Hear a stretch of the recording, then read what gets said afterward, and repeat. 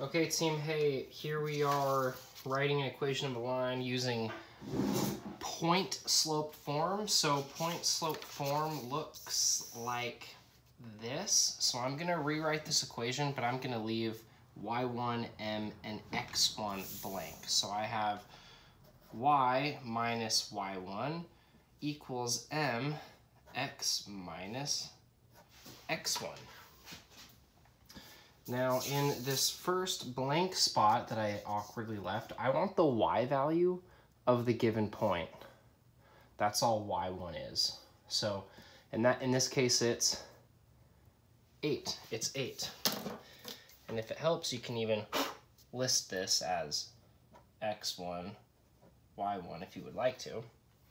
Uh, but I'm going to put my 8 there. Now this next blank, well that is just my, that's my slope. That's my slope. In this case, the slope is negative 1 half. My x value of the given point is 3, so let's plug in, let's plug in 3 there. And there you have it. There it is. There is point slope form. It's kind of an ugly equation, but that's the equation I want, a point slope form equation. Now, the next example was through the point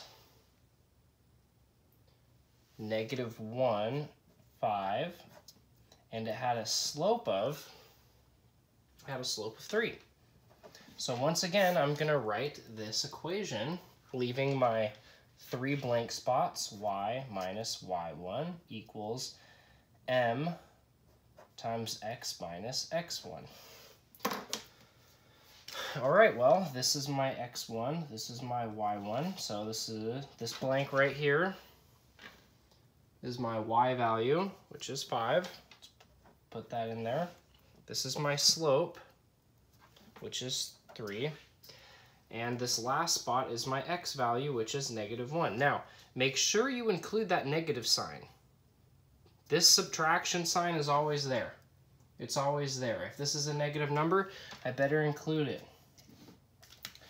Now, when that happens, we should clean this up a little bit.